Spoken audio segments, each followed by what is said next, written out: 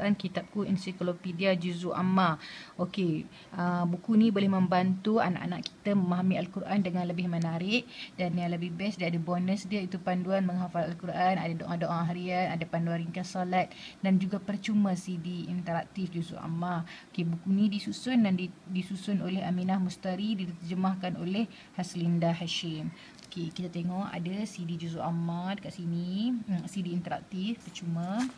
Okey, kemudian kita boleh tulis kat bawah ni buku ni milik siapa, sekolah, email. Okey, disusun oleh Aminah Mustari. Okey, ini dia punya rujukan dia, sumber rujukan. Okey, kemudian ini isi kandungan dia. Okey, kemudian okay, ini panduan membantu anak-anak menghafaz Al-Quran. Okey, bagaimana kita boleh membantu anak-anak menghafaz Al-Quran? Pertama sekali kita kita uh, kenal pasti cara anak-anak kita belajar.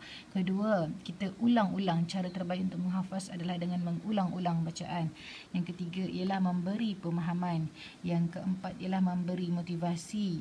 Okay, ajak anak-anak menentukan matlamat yang ingin dicapai. Tak perlu letakkan matlamat terlalu tinggi. Baik mereka menghafaz sedikit tetapi konsisten. Kemudian memberi hadiah. Hargai usaha dan prestasi mereka dengan memberi hadiah. Kemudian kita buat carta khas. Kita ajar anak-anak membuat graf kemajuan dalam hafazan secara berkala. Graf kemajuan tak semestinya bentuk carta tapi juga boleh menggunakan sistem menyambung titik. Satu titik untuk setiap ayat sehingga akhirnya semua titik disambungkan setelah satu surah berjaya dihafaz. Buat graf kemajuan kemajuan tersebut atas kertas besar dan tampal di dinding rumah supaya mereka selalu melihat. Kemudian buat aktiviti permainan okay, sebagai selingan untuk anak-anak sudah boleh membaca buat permainan atau kuis. Kemudian berkumpul, kumpulkan ahli keluarga atau rakan-rakan anak. Buat majlis kecil-kecilan, minta mereka bergila-gila melakukan pengulangan di hadapan penonton. Selain daripada mereka lebih bersungguh-sungguh menghafaz, mereka juga akan menjadi lebih berani untuk tampil di hadapan umum. Ini akan memupuk keyakinan diri. Kemudian, suasana tenang menghafaz Al-Quran akan menjadi mudah bagi anak-anak jika diajar dalam suasana menyenangkan. Perhatikan suasana hati anak. Tidak perlu memaksanya untuk menghafaz ketika emosinya tidak sedang tidak stabil.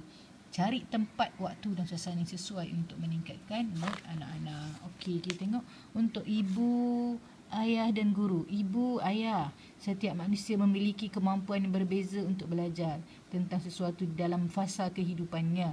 Apa yang anda faham tentang konsep kebaikan tidak sama dengan apa yang anak anda faham. Disebabkan itu, kita perlu bijak dalam menjelaskan konsep kebaikan kepada mereka tunjukkan kepada mereka bahawa mempunyai sikap yang baik bukanlah perkara yang membosankan. Solat lima waktu bukanlah suatu perkara yang sukar.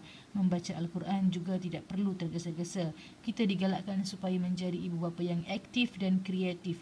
Membuat formula belajar yang sesuai untuk mereka. Buku ini mengandungi beberapa panduan untuk mendekatkan anak-anak kepada Al-Quran dengan cara mudah dan unik. Jadi, Mudahkan anak-anak kita memahami konsep kebaikan dengan cara yang menyenangkan. Berbincang dengan mereka cara-cara untuk mencapai nilai kebaikan tersebut. Kita tengok ni surah An-Nas. Okey. Kemudian ada ringkasan surah, ada kenapa ayat ini diturunkan, okay, dan ada penjelasan iaitu syaitan yang jahat dan sesat.